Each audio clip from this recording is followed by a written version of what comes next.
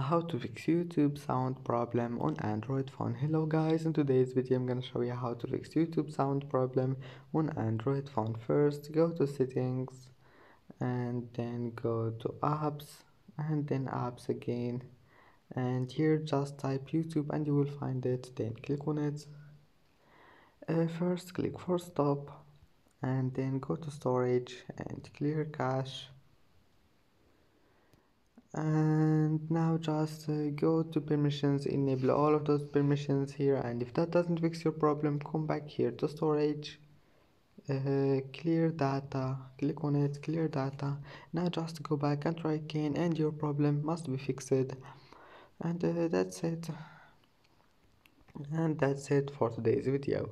If you like this video don't forget like and don't forget subscribe. And thank you for watching this video until the end and see you in the next video